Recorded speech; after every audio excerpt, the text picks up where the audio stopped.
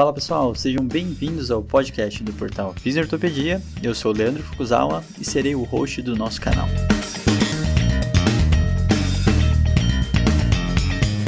Esse podcast tem como função ressignificar o papel do fisioterapeuta em tempos modernos.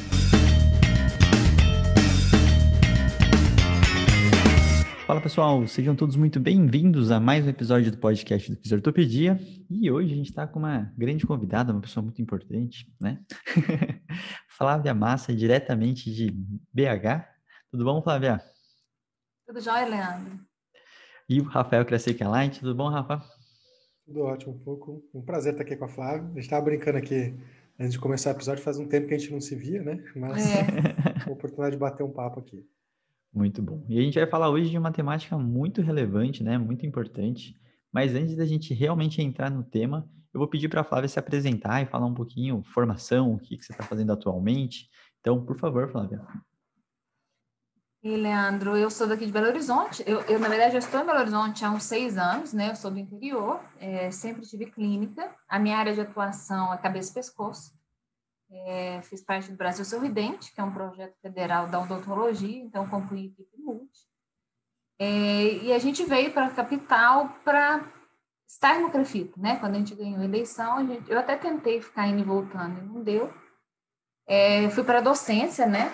E hoje a gente tem uma empresa de, de assessoria e consultoria na, em LGPD. Então, os rumos mudaram muito, né? É, e são as possibilidades que a profissão traz. Muito bom. E a gente estava conversando antes, né? Essa questão da pandemia, ela trouxe essa, acelerou muitos processos e com certeza essa empresa só surgiu pelas questões pandêmicas, tudo que começou a surgir, evoluir, né, Flávia?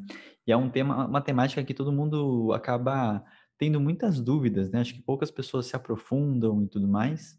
Então, a gente está dentro disso tentando melhorar esse processo e a gente, por isso, a gente trouxe a Flávia que está é, nas mídias sociais dela já, falando muito, né? Como ela falou, tem uma empresa, mas vamos começar do básico. O que é a Lei Geral de Proteção de Dados, Flávia? Pois é, Leandro. É, a minha principal pasta no CREFIT sempre foi registro, né? Uhum. Então, foi... Quando a gente entrou agora na, nesse último mandato, eu acho que eu queria trazer uma herança positiva profissional, deixar um legado, né? Da minha passagem no CREFIT, nesse cargo, e propus a gente digitalizar esse processo. É, a gente, aí quando eu debrucei, porque eu conhecia intimamente este setor, né, mas dentro de um conselho ele não é uma roda denteada, um setor não funciona sem o outro, e a gente precisou ampliar esse projeto. É, e esse projeto saiu do papel, né, a gente já está prestes a implementar tudo, e no meio do caminho, onde a gente debruça para estudar, porque documento público é um, é um caso muito específico, né, tem as suas burocracias, as suas né, normativas específicas, é, eu me deparei com a LGPD, que na época era recente, ela, ela foi sancionada em 2018. E eu achava, não, meu, e foi um achado, assim, que apareceu, porque eu comecei a estudar arquivo público, é, e aí foi, apareceu para mim. Sentei com o nosso TI e falou, não, Flávia, foi sancionada, é assim, assim, assado, e a gente debruçou a estudar, né? Juntei com o jurídico de lá, e neste período de uns, uns dois anos, a gente estudou toda a parte normativa, inclusive da LGPD, mas era muito focada em, em documento público, até porque eu era extremamente fechada nessa ideia. Quando foi entrou a pandemia, é, os conselhos federais soltaram a, o teleatendimento, né? Assistência remota. E eu comecei a ver nas minhas redes sociais uns absurdos de atendimento online, sabe? E eu olhava aquilo e eu acho que as pessoas não entenderam a resolução. É, e eu li a resolução, a resolução ela dá um grande norte, sim, né? ela não te dá um passo a passo, porque aí você considera o, senso, o bom senso, considera o código de ética. E eu falei, gente, não é possível que isso não, não, tenha, não esbarre na Lei Geral de Proteção de Dados. E aí eu comecei a estudar esse impacto da Lei Geral de Proteção de Dados nos profissionais de saúde, na nossa atuação do dia a dia. Então, este foi é, meu escape na pandemia, sabe? Era, era nesse assunto que eu debruçava a estudar e a ler na hora que eu vi que realmente o impacto era grande. E aí eu conheci realmente a lei, porque eu conhecia só é, é, o, o fazer ali dentro do, do CREFITO, porque eu ficava com um papel muito menor de adequação, porque isso ficou mais jurídico que isso. E aí, na hora, aí eu tentei, na minha rede social, criar, colocar uma pulga atrás da orelha daqueles colegas que, que me, me encontravam na rede social. Eu falei assim, nossa, não é possível, porque eu, eu leria, eu iria atrás, de, na hora que eu fosse ler uma chamada dessa, assim, não, deixa eu conhecer isso. É, eu queria que essa, essa distância diminuísse, sabe? E foi muito legal que eu comecei a ter um feedback positivo. Só que, assim, na hora que a gente vê, a lei, ela não obriga que a gente tenha uma consultoria, tá? É, nenhuma lei vai fazer você ter um custo operacional para ela ser execuível. É, você tem, ela tem que ser aplicável, né? Então, você tem que ler, estudar, interpretar aquilo no seu dia a dia, para você saber até onde que você vai. Só que nas várias, é, vai impactar todos os setores, todos os setores. E alguns setores são mais impactados porque detêm mais dados, né? E necessitam da coleta desse dado para existir. E, e, e, geralmente não é nosso hábito da resolução, né? Fala que a gente já está caminhando num processo do profissional ler um artigo científico, você calcula uma resolução, né? É um abismo muito grande mesmo profissional.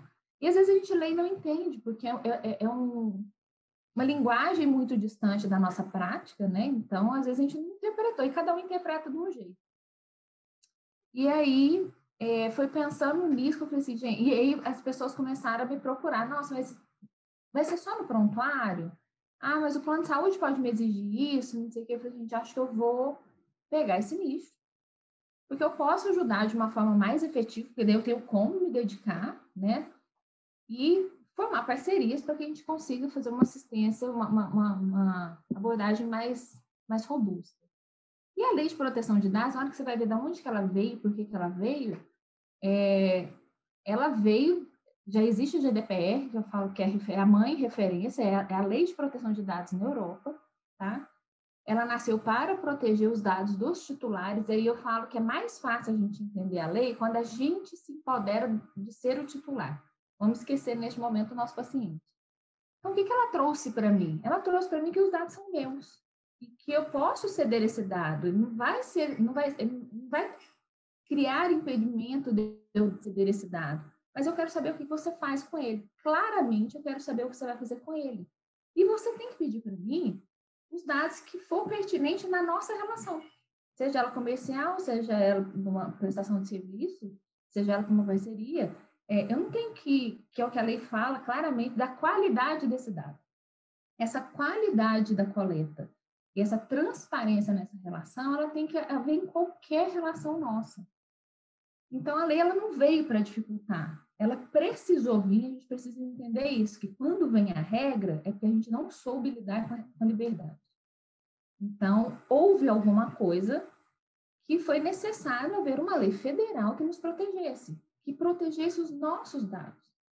Então, na hora que a gente se coloca no lugar, eu falo assim, quem nunca foi incomodado com uma ligação fora de hora, querendo te vender alguma coisa de um lugar que você nem sabe. Né? Isso, porque assim, vende-se muito mail, né? Existe um custo, a gente paga altíssimo por esse mail. Hoje, se eu questionar essa empresa que me, me ligou, é, quem cedeu esse dado, ela tem que me responder, e se for um dado que foi passado sem meu consentimento, as penalidades são grandes. Então, a lei ela veio para moralizar essa relação. Né? E a gente também tem que entender que a gente tem uma função especial em cima disso. Quem nunca entrou num site onde clicou na política de privacidade, caçou o fim da, da página e deu o aceite? Né? Aquela política de privacidade, ela fala da nossa relação. O que, que eu vou fazer com seus dados? Por que, que você vai preencher aquele cadastro? Como que eu vou te rastrear nesse site? É, o que, que eu vou fazer com esses dados. E se a gente aceitou, então a gente deu carta branca para essa pessoa coletar esse dado. O que ela não vai poder fazer é vender esse e-mail. Então, é, cada um tem um papel é, nisso e a lei veio para moralizar mesmo, para criar regras e empoderar o titular do, do, do quanto importante é, como essa, a, a, é, essa quantidade de dados que a gente cede faz o planeta girar, né? A gente, eu estava lendo uma reportagem esses dias que há 20 anos atrás, uma das empresas mais empoderadas era a Coca-Cola. Hoje são as empresas de telefonia, né? Porque elas detêm, né? Hoje você tem Facebook, você tem a Amazon, você tem grandes empresas que fisicamente é, não eram tão robustas assim, Mas o que elas têm de dado, elas mapeiam tudo que você pode imaginar com que a gente alimentou é, no cadastro deles, entendeu?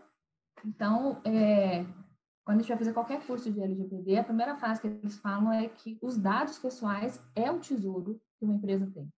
Que é através desses dados que a gente chega no nosso cliente, né? Uhum. Seja um simples nome completo e WhatsApp. A gente já consegue fazer miséria, né?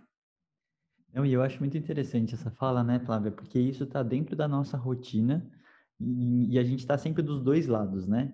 Uma hora você que está coletando por alguma conveniência para você e uma hora você está sendo coletado e você às vezes está só entregando porque você está preenchendo um cadastro, né? De uma forma muito é. simplista. Isso é uma das coisas que eu acho que às vezes confunde. A gente acaba pensando muito quando dá problema e não quando tá rotineiro, né? Então a gente espera literalmente dar a merda para depois pensar e se preocupar quais seriam as grandes questões que precisa saber do processo, né? Deve ser uma coisa simples, o, o Leandro, que a gente vê claramente isso acontecendo, que existe uma diferença entre, entre você ter o seu WhatsApp hackeado, né? Como ele funciona num aparelho só, e o seu WhatsApp ele é hackeado, o seu não faz mais nada, você perde o acesso.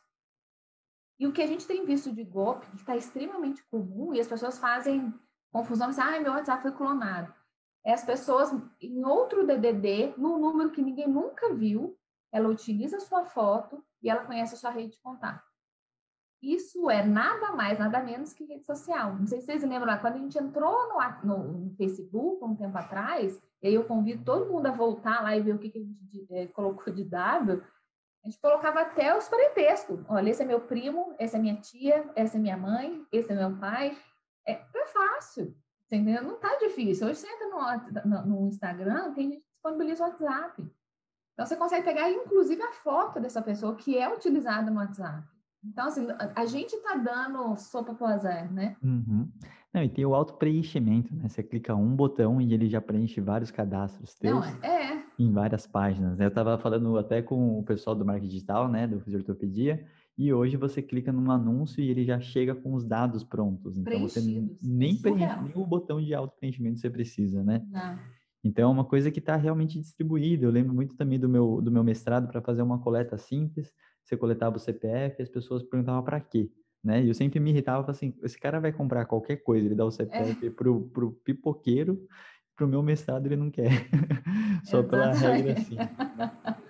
Mas, Mas é uma... e, e a, a, gente tem ainda vantagem que a lei ela previu algumas, eu acho que até por saber das, da sensibilidade da área da saúde, a área da, da saúde e da pesquisa tem exceções.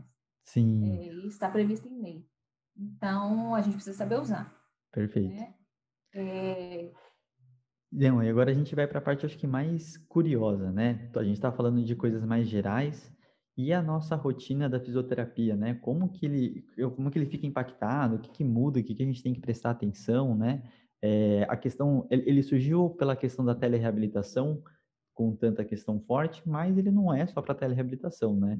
Ele é para qualquer preenchimento, qualquer cadastro. Então, como que todas essas mudanças vão impactar na nossa rotina como fisioterapeuta?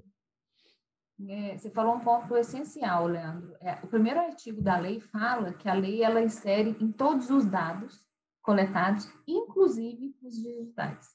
Ou seja, a lei vem para os documentos físicos e ela também atua nos digitais.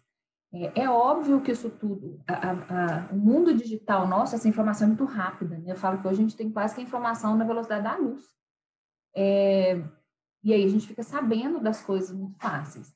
Então, quando a gente fala de proteção de dados, a gente imagina que ah, eu tenho um prontuário eletrônico e eu preciso protegê-lo por causa de hacker. Não.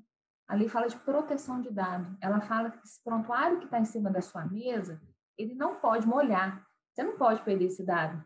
Você não pode deixar uma criança rabiscar. Você não pode deixar sumir uma página. Você não pode deixar alguém roubar esse prontuário. É uma proteção de dados.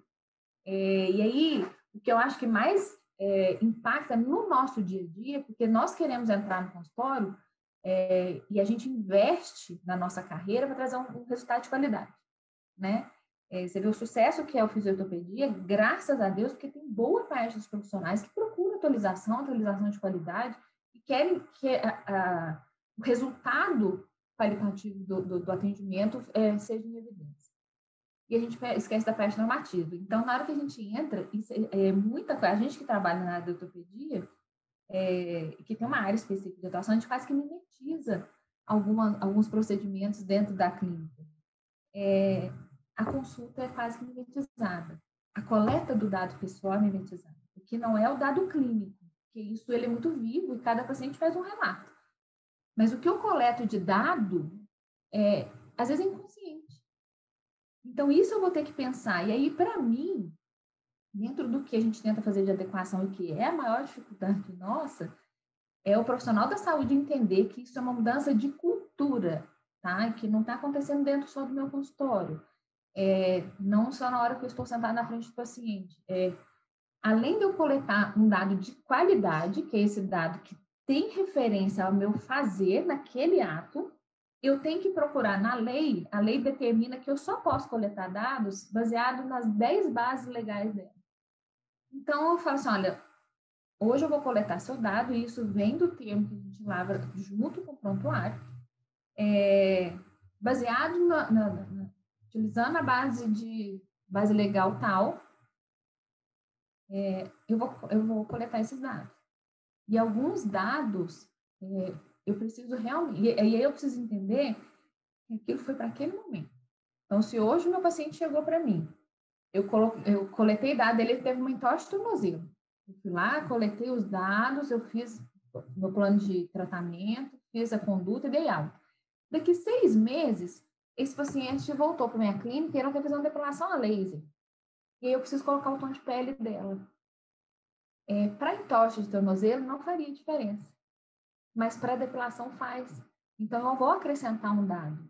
Se eu vou acrescentar um dado e esse dado é considerado sensível, eu preciso justificar no prontuário a motivação dessa coleta de dados. Essa relação é transparente, ela não pode ser discriminatória. Entendeu? Então, eu acho que isso é o mais importante. Você tem um raciocínio legal de uma coisa que a gente nasce sabendo fazer, questionando, e às vezes é tão, é tão inconsciente as perguntas que a gente faz né? Mas na hora da gente documentar, a gente vai precisar pensar um pouco. É, é claro que a gente elege alguma, quando a gente faz uma consultoria, a gente elege das 10 bases legais, três. Você vai sempre usar. É, e aí não fica tão difícil, né? A gente vai trazer isso para o inconsciente também, porque essa relação vai, e aí a gente vai ficar crítico. Esses dias eu fui comprar um livro da escolinha do meu menino, R$19,90 no site, juro por Deus, para eu comprar um livro de R$19,90 no cartão, ela perguntou meu endereço, meu telefone, meu CPF, minha profissão, se eu era casada. Eu falei assim. E aí eu me recusei, eu falei assim, eu me recuso a preencher esse cadastro, entendeu? Porque não tem justificativa dentro de uma base legal de eu comprar um negócio que é no cartão a compra foi aprovada, tá? Não precisa do meu CPF. Ela precisava do meu nome e meu endereço, porque ela só precisa me entregar essa mercadoria. Mais nada.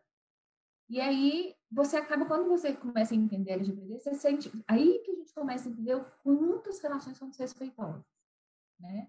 E aí, no profissional de saúde, é isso. A gente vai ter um grande impacto no prontuário, que eu acho que é um impacto que inicia ali a, a, a consciência da importância da LGPD, nas nossas relações de publicidade, né?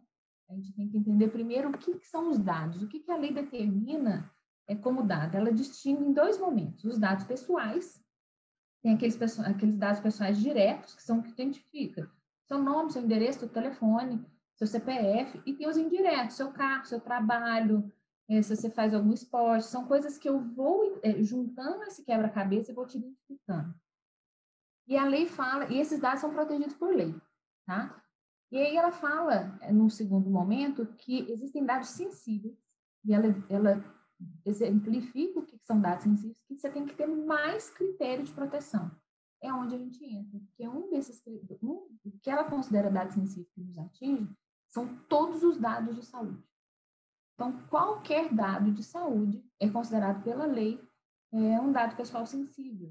Né? E os dados pessoais sensíveis são aqueles que me identificam e podem me causar é, discriminação.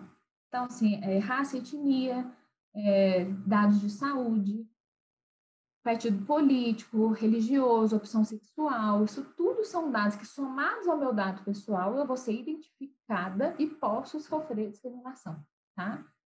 E aí que a gente entra, é, tendo um, resguardar mais ainda. O que, que a gente fala? Outra coisa que é extremamente importante são três coisas que a gente precisa entender a diferença. O que é privacidade de dados, a proteção de dados e sigilo profissional.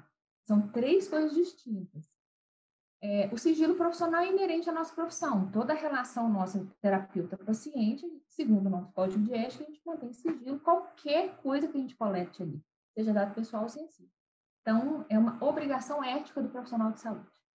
Para a gente entender a diferença de proteção de dados e privacidade de dados, eu gosto de usar um exemplo que é o seguinte: você imagina um banheiro todo de vidro. Mas a porta dele tem uma tranca enorme que ninguém consegue abrir. Então, a proteção do banheiro está ok, a privacidade está zero.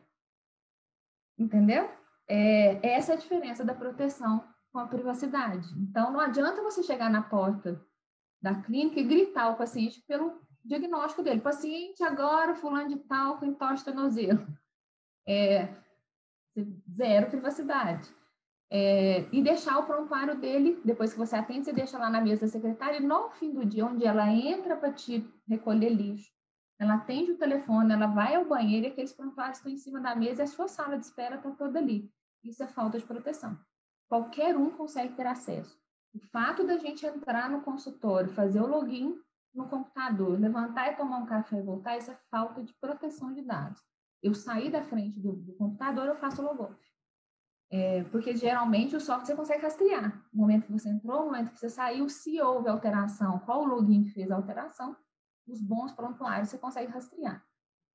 É, e aí tem a relação nossa com a secretária ou com um profissional que não é da área da saúde. Porque com o sigilo profissional é previsto no Código de Ética das profissões de saúde regulamentada.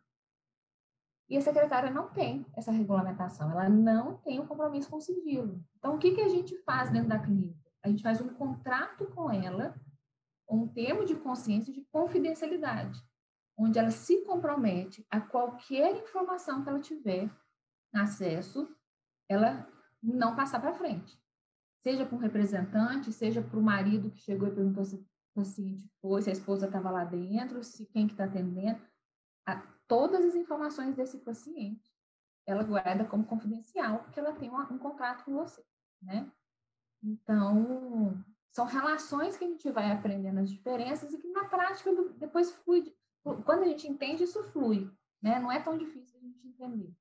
É, isso é muito interessante, né, Flávia? É, e aí até uma perguntinha um pouco fora do roteiro. É, você como professora de faculdade, como que eu acho que a questão da cultura, né, é o mais importante. Você começa a construir isso, começa a criar uma rotina onde você naturaliza que esse aluno desde o início entenda tudo que está envolvido para saber se aquilo é realmente relevante ou não e como seguir logo depois, né? É, você tem conseguido implementar isso com seus alunos e ter, levantar essa consciência? Como está esse processo? É, não é uma coisa fácil, porque assim, hoje o que, as instituições de ensino estão fazendo? Eles estão. Está todo mundo né, apanhando, está todo mundo tentando se achar nesse tsunami é, entendendo aonde que a lei pega, né, dentro do ramo de atuação nossa. Hoje o que eu vejo as instituições de ensino trabalhando é cara, são muitos setores. Tem setor de RH, porque quando a gente fala de dado, eu estou falando do dado da tua secretária, da sua equipe, da faxineira. Se você faz uma transferência de pagamento para a faxineira, você tem os dados dela.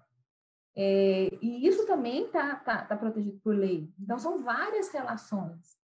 É, e aí a faculdade ela está neste momento de ver a relação dela com os dados dos professores, os dados dos alunos, dos pais do aluno. Geralmente eles nem são responsável financeiro, é, é uma loucura o que eles estão fazendo. E é, o que eu achei legal ano passado é que, geralmente, semana da fisioterapia, a gente sempre é chamado para palestrar, mas fala do marketing, fala de processo ético, fala da... E ano passado, todas as palestras que eu dei foi em relação ao LGPD. Então, eu acho que já começaram a abrir os olhos. Ainda não está efetivamente implementado, até porque as pessoas estão tentando se achar nesse meio, mas eu acho que vai ter que ser uma realidade. Entendeu? Nessa relação é, instituição de ensino, escola de curso com o, o, o estudante, o aluno, é, ou o pai do aluno, qual que é essa relação é, e como proteger isso. Né? É mais simples do que a gente pensa. É, fizeram muito tumulto e aí eu acho que criou-se um, um, mito muito grande da LGPD, até porque as sanções, apesar da NPD iniciar punições e sanções a partir de agosto desse ano, é, a gente vê no mundo jurídico grandes decisões de grandes multas, porque a lei está vigente, né? E a partir do momento que você lesou esse consumidor, você vai responder. E aí a LGPD é mais uma das leis que já estão vigentes que pode é, incidir contra a gente. Sim, não, perfeito. E é uma coisa que o pessoal acaba realmente, como você falou, né? Todo mundo começa a ficar com medo de é. fazer, pisar errado, fazer alguma coisa fora da rotina, se vou ser preso, não vou ser preso, né? É. Qualquer punição que poderia existir. Hum. E, e aí eu acho que uma coisa importante, até você falar um pouco de uma forma, uh, vamos dizer, mais prática, né? Como que na rotina e num consultório a gente vai adequar esses processos? Quais são as regras básicas para conseguir realmente estar tá dentro dessas normas, né? Uh, e quais exigências, quais documentos, como que, que funciona isso literal, né? E aí eu acho legal até se você quiser tentar diferenciar para um ambiente mais consultório, é. clínica, é. estágio, né? Eu acho que a gente tem tantos ambientes diferentes, esportivo, Sim. né? Todos eles, acho que seria legal exemplificar um pouco. É. Uma coisa que a gente tem que entender é que a, a LGPD, ela, ela, ela, ela explica é, quem são os agentes de tratamento de dados. O que, que chama tratamento de dados? Chama tratamento de dados que é um ciclo, tá? É o dado desde a época, da hora que eu coleto ele, Aí eu tenho que saber, eu tenho que, que é o que, quando a gente vai ler, todo mundo fala assim, é o data mapping, é o mapeamento de dados, é, é o gap, é, é esse mapeamento de dados é o primeiro passo para você pensar na LGPD dentro de qualquer coisa. Então, o que, que a gente faz? É, é a gente rastrear todos os meios da onde eu coleto esse dado. Por onde que esse dado chega na minha mão? Ah, eu tenho um aplicativo, eu tenho um site, a secretária o povo liga, o povo manda mensagem no WhatsApp. Então, eu faço um checklist mesmo. Da onde que vem esses dados? Eu preciso saber, eu preciso mapear isso. Então, é, e aí eu vou mapear isso durante todo o tratamento de dado, tá? E o tratamento de dado, ele consiste na coleta, na, em quem tem acesso a esses dados, aonde eu armazeno, por quanto tempo eu armazeno, se eu divido ele com alguém, se eu, é, se eu passo alguma informação para terceiros, o tempo de guarda que ele fica na minha mão e como eu descarto ele. Então, é do começo ao fim. E todos os agentes que têm acesso a ele. Então, eu, enquanto profissional da saúde, eu sou o controlador de dados. A lei me considera controlador de dados. Sou eu que escolho o dado que chega em mim. Ninguém manda eu coletar dados. Né? Dentro do que eu vou fazer uma anamnese, sou eu que escolho.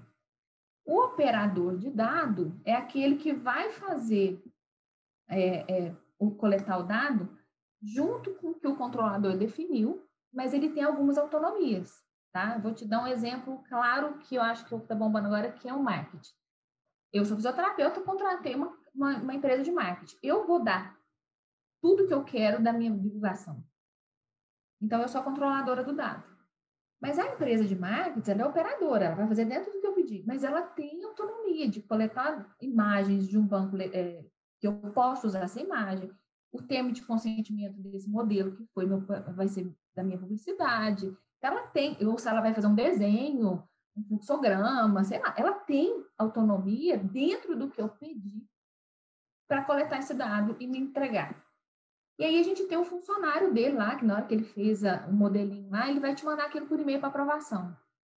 E a modelo foi lá e achou que não foi legal e vai encher o picovado da clínica e da empresa de marketing. A lei não considera esse, esse funcionário que enviou e-mail, que ele é um funcionário, ele não é agente de tratamento de dados. Ele foi um veículo, ele só obedeceu. Então, a nossa secretária não é agente de coleta de dados, tá? Ela faz o que a gente pede, ela não tem autonomia. É, mas o operador e o, o, controlador de dados são solidários, sempre solidários. Não existe uma hierarquia entre eles, apesar de ter autonomia. Então, essa relação também eu preciso entender. Então, a primeira coisa que a gente faz, são, é, o primeiro passo é a gente entender que nós somos controlador e dentro do nosso ambiente de trabalho, eu nomear o encarregado. Eu preciso saber quem que é o encarregado de dados. O que, é o encarregado de dados? É aquela pessoa que vai atender o paciente fora de hora que ele quer só saber do dado dele. Aí eu procuro quem?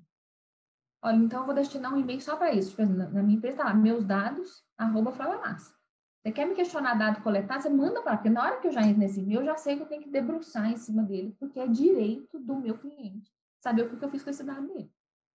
Então, a gente tem que ter essa, esse, esse encarregado. E o primeiro passo é a gente rastrear da onde que eu coleto esse dado. Então, eu coleto esse dado é, do celular, do site, do aplicativo, e aí a gente tem que colocar isso no papel. Nessa trajetória do tratamento de dados, a gente já vai elencando quem tem acesso, tá? Até para a gente entender se é um agente de tratamento de dados ou se ele não é. O tempo de guarda, algum, 99% dos documentos estão na nossa mão, tem tempo de guarda definidos, né? É, se eu quero escanear é, esse documento, principalmente o prontuário, saiu em 2018, eu acho que foi até para dar uma robustez na, na LGPD, uma, uma lei federal falando só da digitalização e guarda de prontuário eletrônico do físico eletrônico. Então, tem regras claras como que você vai digitalizar para ele ter valor é, legal daquilo. E aí, inclusive, do descarte disso. Então, a gente vai mapeando, a gente rastreia dentro da, da nossa, do nosso modelo de negócio todo esse, esse tratamento de dados e quem, e quem tem acesso e quem tem... Como a gente descarta. Aí, o segundo passo é a gente é, é publicitar isso. Porque o interessante é eu falar para o meu paciente que está em ambiente seguro. Então, o que, que a lei fala? Eu tenho que ter na minha clínica, porque a gente acha que política de privacidade é uma coisa para site. Não, eu preciso ter. É, hoje, na, no comércio, tem que ter uma cópia do Código de Defesa do Consumidor. É, dentro da sua clínica, você vai ter que ter uma política de privacidade. E essa política de privacidade não é um documento escabroso. É uma conversa com o seu paciente. Exatamente daquele mapeamento que você fez. Olha, a gente coleta seus dados, neste local, neste local. Qual que é a finalidade desse dado? Finalidade, quando eu coleto do seu site, do meu site, eu quero saber as suas preferências, eu vou criar estatística de marketing. Não é proibido a gente fazer isso, é proibido a gente fazer escondido. Olha, quando você agenda com a minha secretária, eu preciso anotar o seu telefone para confirmar essa consulta. Então, é esse mapeamento, e essa política de privacidade que a gente é, explicita para o paciente né, para todo mundo que utilizar. É, a gente tem na clínica, geralmente, e no consultório, algumas coisas que nós somos, alguns serviços que nós somos os controladores de dados e a gente terceiriza. E aí é que mora o perigo, porque a gente é responsável por isso, não está no nosso poder, e aí a gente vai entender essa relação. Vou te dar um exemplo muito claro da contabilidade. Você manda todos os dados dos seus funcionários, dos seus colaboradores, os seus. Foi você que coletou esse dado. Então, você, dentro do seu CPF, do seu CNPJ ou do seu CPF, o contador faz tudo que ele tem que fazer. Mas ele tem que ter uma política de privacidade e uma, uma adequação da LGPD lá. Porque ele tem, enquanto operador, que respeitar a lei. É, essa relação acontece também com operadoras de plano de saúde. É o que está batendo agora na porta dos fisioterapeutas. Porque as operadoras de plano de saúde começaram a questionar as clínicas é, como que faz essa proteção de dados. Por quê? Porque ela é, ela é solidária com a punição, o cliente é dela também. Então, ela vai espremer para que a gente adeque, né? E essa relação, e tem, a gente chama atenção aqui, porque tem operadores de plano de saúde já mandando minuta de aditivo contratual em relação à LGPD. Então, assim, pede ao menos um colega que é bacharel em direito, dá uma lida antes da gente assinar é, e entender essa relação da responsabilidade dos dados desse paciente. É, a não adequação, ela pode ser justificativa para um distrato. Eu não sou obrigada a ter relação contratual com uma empresa que não respeita uma lei federal. Até porque eu sou solidária é, à responsabilidade. Então, isso me dá o poder do distrato. Então, a gente precisa entender que está todo mundo arrumando casa é, e que tá, é, e eu posso escolher para quem que eu vou terceirizar essa, esse dado que tem dentro da minha clínica. Perfeito. E aí tem uma parte que eu acho que é muito importante, você falou até a questão de marketing, assim, né? A gente utiliza de uma forma talvez muito inconsciente e a gente não sabe até o limite que pode, não pode, essa exposição do paciente, né? E eu acho que essa coisa, como a gente utiliza em mídias sociais e tudo mais, acabou tendo uma nova publicação do Cofito, né? Mudando alguns detalhes aí. Eu acho que essa parte é muito relevante para a gente entender, né? Pode postar o pré e o pós, o que, que não pode, for, a cara do paciente, Se eu posso utilizar, a gente utiliza às vezes, muitas vezes em aula, né? O que, que pode aparecer, não pode. Então, assim, fala um pouquinho dessas coisas assim que eu acho que são bem relevantes e práticas, né, para nossa rotina. Eu acho que assim, quando a gente vai considerar o paciente como um mecanismo de marketing publicidade, a gente tem que é, pensar em três em três normativas muito claras nessa relação comercial, que é uma relação comercial. Uhum. Então, a gente tem a, o Código de Defesa do Consumidor, e ele fala que aquilo que você publicitou garantindo o resultado, você é obrigado a garantir. Então, se eu vou lá na sua clínica e se postou uma foto com uma bunda sem celulite, eu quero a minha igual, porque você colocou antes e depois. E você, de acordo com o Código de Defesa do Consumidor, você é obrigado a me... Se você sugestionou que você faz isso, você tem que me entregar aquilo né? Ou então a gente vai enquadrar numa propaganda enganosa. É, em relação à LGPD, a LGPD considera imagem, foto, vídeo, voz como um dado pessoal. Tudo aquilo que me identifica é um dado pessoal. Eu posso anonimizar esse dado, tá? E elas, a, a lei só vai aceitar dado anonimizado quando eu não consigo rastrear é, e chegar no, na, na na versão original daquele dado, né? É, ela aceita dado anonimizado de pesquisa, porque, hora ou outra, eu preciso identificar esse paciente que fez parte de um grupo de pesquisa, mesmo ele estando anonimizado. Então, a gente tem é, é, regras para isso acontecer. Então, a gente vai coletar esse dado, o que, que o conflito fez? E aí a gente não pode ler um negócio só fechado no conflito. Na esfera do conflito, ele falou que ele autoriza desde que expressamente autorizado pelo paciente. Então, se o paciente autorizou você uma foto pelado, ele autorizou.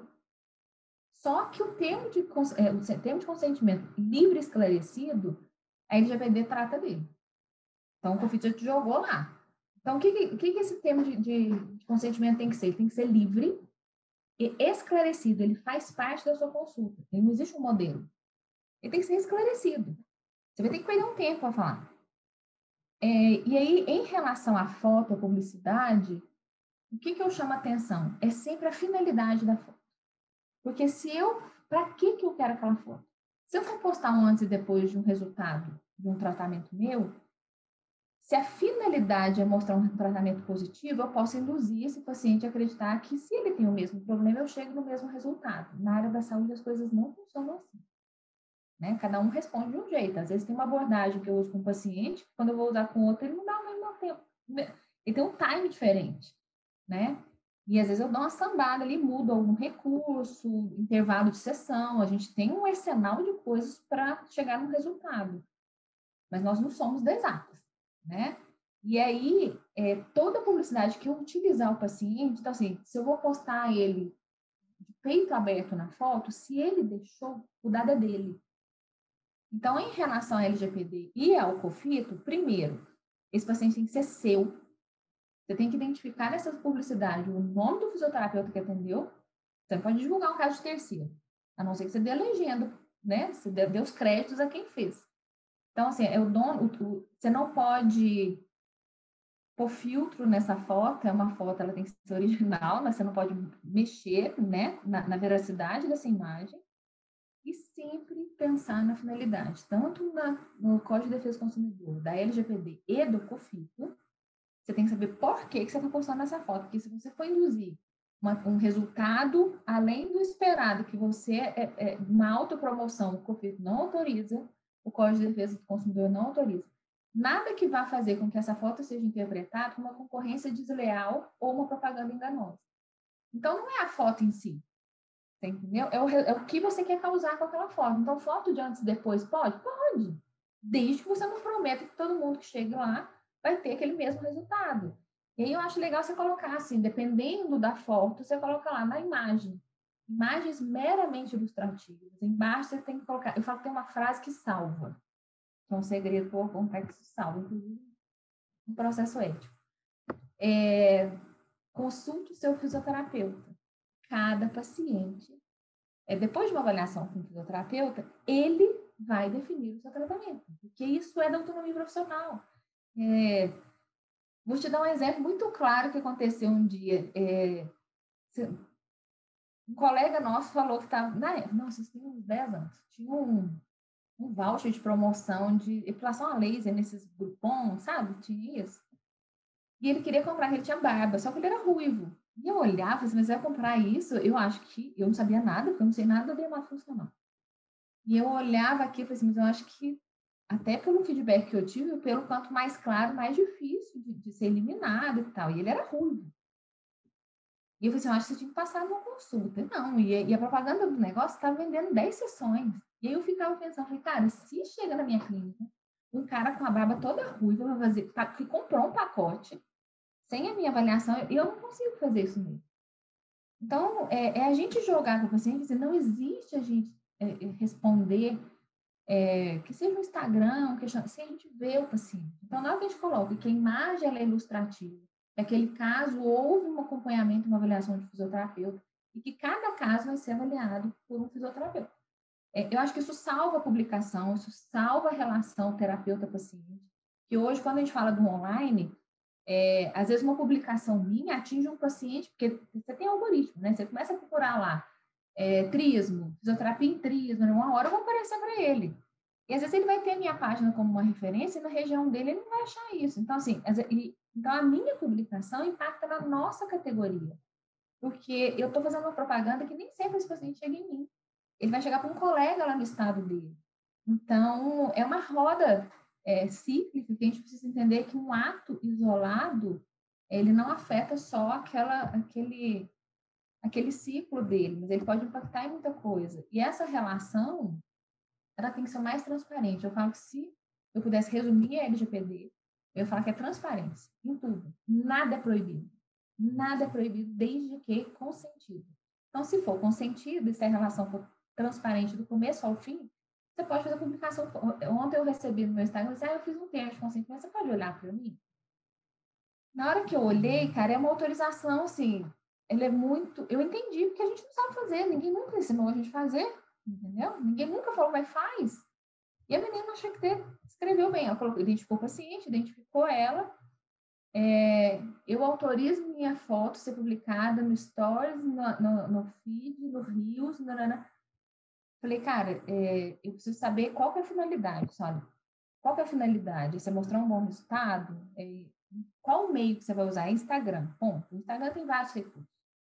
É, é, no meio impresso? Olha, eu vou fazer essa publicação, então ela está te dando autorização para essa publicação. Então você tem que falar, ó, depois da publicação, eu vou apagar essa foto no meu computador. Eu não vou ter mais acesso a ela. E a gente exclui assim, tal, tal. É, eu vou ficar com ela por 30 dias, porque caso eu tenha algum problema na rede social, olha, eu vou pegar sua foto e vou mandar para minha agência de publicidade. Eles vão fazer a publicação lá, mas eu te mando antes para aprovação. Então, a gente coloca isso em termos de consentimento. Olha, é, eu, eu divido o dado, esse dado pessoal vai para a empresa tal, que vai bolar um mecanismo de marketing para a minha clínica e tal. E aí, esse, essa relação ela tem que ser. E daí eu não consegui fazer. Eu consegui fazer foi tópico. Olha, você tem que fazer isso, isso, isso, e cada relação é, é, é viva. Então, é igual quando a gente faz a política de privacidade de uma clínica. A gente cria dentro do que a gente encontrou ali e a gente entrega um, um documento editável. Porque, assim, às vezes eu visitei uma clínica hoje que ela tem um site. Dali três meses, ela coloca um aplicativo para você fazer uma, uma, um agendamento sozinha. Então, assim, ela criou uma outra entrada de, de dado que não tinha na, na data da, da consultoria. Mas lembra que eu falei que a gente trabalha com uma mudança de comportamento?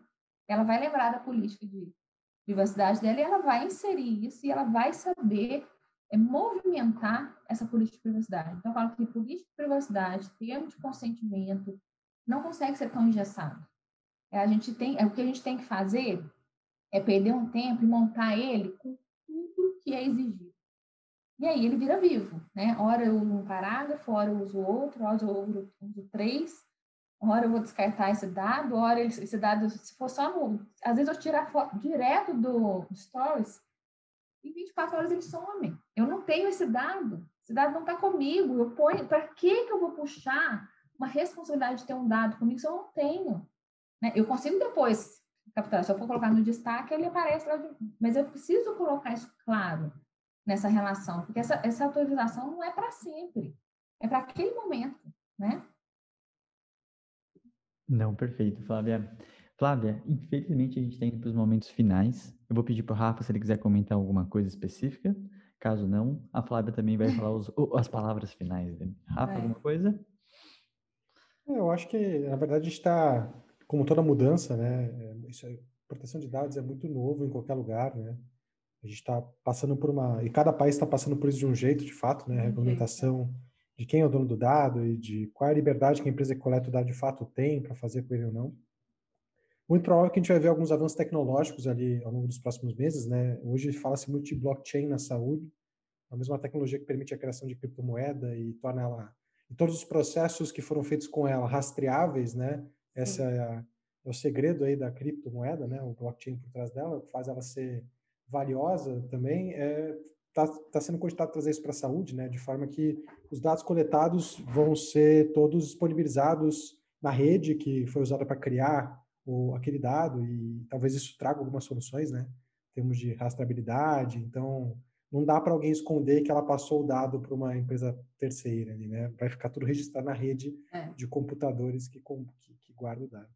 Mas, enfim, eu acho que é, é, é, tudo muito novo, né? A gente vê que talvez a gente tenha que reformular, inclusive, a forma como a gente ensina os nossos alunos, né? Porque os alunos são treinados para coletar uma infinidade de dados sem ter um motivo claro por que fazer isso, né? É, eu acho que é o que você falou, Flávio, é uma mudança de cultura, né? E por muito tempo eu já escutei muita gente falando, ah, então isso vai ter todo um movimento para as pessoas usarem SaaS migrarem para softwares, né? É, mas acho que, que os, os, softwares têm que não dá mais para guardar na internet, num Excel, num documento. Mas acho que a questão até é anterior a isso, né? É, é a proteção do dado como um todo, né? Então, até o dado presencial, dado no papel, né? Tudo isso também é englobado aí pela lei. Então, eu acho que, enfim, é um movimento que veio aí para, né, vai dar uma bagunçada na rotina de todo ah. mundo, mas que ao meio, no médio e longo prazo a gente entende que é, vai, vai, ajudar, na verdade, todo mundo, né? Não só na saúde, ah. mas acho que todo, todos nós que, é, em muitos casos, né, aquela velha premissa, quando você não paga nada, você é o produto. Então, Exatamente. eu lembro disso, até pela tua fala, é, a gente precisa estar, tá, inclusive, estar tá atento qual meio digital nós vamos alimentar, que em qualquer relação nós somos o controlador. Então, se a gente vai ter, o que a gente viu muito na pandemia foi aparecer prontuários eletrônicos, inclusive com potencialidade de fazer o teleatendimento, e as pessoas não sabem nem que nuvem isso está guardada, é, se essa nuvem é no Brasil, porque às vezes o escritório é no Brasil, mas a nuvem geralmente não é é, se isso é criptografado de ponta a ponta, né? Quem tem acesso, porque a, o dono do software não tem que ter acesso aos dados que eu alimento, é uma relação minha com o terapeuta, com o paciente. É, e aí, e aí, assim, quando eu cessar essa minha relação com esse prontuário, é extremamente importante a gente saber disso. Porque a gente tem uma responsabilidade legal de 20 anos de guarda desse documento do paciente. São 20 anos da última atuação. É, e aí, se eu alimento um software que do nada ele expira, é, eu perdi esses dados. Eu não perdi de um paciente, eu perdi da minha rede de contato. Então, isso é um grande vazamento de dados. Né? Então, essa relação, eu falo assim, é, testa, sabe? Baixa o aplicativo, inventa uns prontuários e tenta no Fale Conosco. Faz umas visitações, porque se você não tem acesso a quem te vendeu, né? Se você baixou ele, ele tem que ter um canal de, de acesso com o usuário. E aí você vai testando antes e vai pedindo informação, documentação, entra na internet e vê os requisitos mínimos de segurança, porque a responsabilidade é sua, você baixou o que você quis, né? Eu acho que o mundo vira digital e agora já tem até um projeto de lei falando dos neurodados, né? Eles querem, porque a biometria foi considerada um dado sensível e aí tem, tem quem fale da íris e de outros dados que são captados, é, reconhecimento facial, são dados específicos, assim como a biometria. E aí, para sair algo parecido da proteção de dados, mas esclarecendo melhor para a gente a coleta disso. não. Flávia, vou já agradecer essa conversa, mas eu queria que você deixasse alguns recados finais para literalmente as pessoas aprofundarem mais e também de algum projeto teu que está relacionado a isso, né? Essa tua empresa específica. Eu acho que é uma grande tendência, né? E com certeza vai chover um monte de mensagem aí das pessoas uhum. te perguntando se eles estão fazendo certo, se estão é. errado, né? Então, como que as pessoas te acham e fala um pouquinho desses seus projetos. É, eu falo que é um nicho novo para todo mundo. Acho que, independente do tamanho da empresa, é, essa empresa vai ter que se adequar e ela vai aprender aos poucos. É, em janeiro desse ano, o, eles criaram a Autoridade Nacional de Proteção de Dados, né, que é a autoridade do governo federal que vai criar resoluções, vai esmiuçar essa lei para nós de uma forma mais clara. Eu acho que a área da saúde precisa, e eu acho que vai ter grandes marcos importantes com as publicações desses atos normativos específicos para a gente, para pequena e média empresa. Eu acho que, que hoje a regra é uma só, né, independente do porte. Então, eu acho que vai clarear ainda muito, vai ser muito mais executível. Então, acho que um site eles têm, inclusive, Instagram, é arroba NPD, que é do governo, e eles vêm soltando agendas, é, todas as reuniões deles são públicas, a gente pode é, participar. Então, é a, é a autoridade máxima em proteção de dados e tem informações bem legais. É, o meu Instagram é flavia.massa.cipriani. Eu tento soltar ali algumas pílulas de informação, a gente vai soltar uns checklists mais completos agora, e aí as informações também estão no site. E estamos todos numa curva de aprendizado, né? Eu acho que sempre tem o que aprender, e quando aparece uma, uma lei tão nova, tão, tão impactante, num momento tão delicado, né, para o profissional de saúde, ele primeiro ele estava debruçado em entender onde que ele estava no Covid. Se a gente ia ter que ir fazer um, mexer com respiratória ou não, e a gente da ortopedia pirou o cabeção, porque a última vez que eu vi um ventilador mecânico foi na faculdade, e faz treinamento e vai ser compulsório ou não vai, e aí que a gente viu que a gente estava salvo disso, a gente debruçou numa administração interna, porque foi impactante para todo mundo, e essa lei entrou em vigor, né? Tem quem questione, sabe? Se isso vai ser... Se isso vai pegar ou não no Brasil. A gente não tem opção, e foi por isso que não conseguiram barrigar para resguardar um tempo de pandemia, as empresas se organizaram, porque as grandes empresas no Brasil já não conseguem fazer transações internacionais, porque as leis de proteção de dados do exterior exigem que só façamos negócio com países que têm a lei vigente. Então, precisou. Então, ela está vigente desde setembro do ano passado, mas conseguimos prorrogar para agosto desse ano as possíveis sanções, né, vindas da NPD. E que a gente fique é, tranquilo, porque pelo tom de, de, reuniões que a NPD tem feito, vai ser um momento de, de mudança de cultura. Eles também enxergam esse abismo na prática. Eles vão soltar muita coisa informativa para que a gente consiga absorver e aplicar. É, a princípio, não vão chegar chutando porta, né? Parece que vai ser uma, uma relação mais amigável, mais instrutiva mesmo, mas para a gente entender que a gente tem um time, né? chegou a hora que esse prazo nosso, ele, ele expira e a gente tem que tomar as rédeas do negócio. Não é obrigado, né, a gente fazer uma consultoria, mas tendo dúvida, nós estamos aí. Perfeito. Flávia, muito obrigado por toda a conversa, muito esclarecedor. Acho que eu também limpei, clarei várias coisas que eu não, não tinha tanta clareza, né? E ligar esses pontos é sempre muito importante. E agradecer, né? É, saudade de ir para BH, tomar uma cerveja pois com é. vocês. Um pão de queijo. Exatamente, um cafezinho, pão de queijo, né? Um cafezinho, pão de queijo. Na hora que der, nós vamos aglomerar de novo, se Deus quiser. Com certeza. Estou esperando falta, esses né? próximos eventos do Crefito 4, que são os melhores. Ah. Estamos à guarda aqui. É. A gente, se Deus quiser, isso passa logo, estamos todos vacinados. Uhum e que isso chegue o mais rápido possível em todo mundo e a gente comece a ver uma luz no fim do túnel. Com certeza. Então, Flávia, vou me despedindo aqui. Muito obrigado novamente. Obrigado, Rafa. Obrigadão, meninos. Um grande abraço para todo mundo. Não esqueçam de curtir, compartilhar. Eu acho que esse episódio é mais do que essencial, né? A gente tem muita clareza de todo esse assunto. E até o próximo episódio. Um grande abraço e valeu.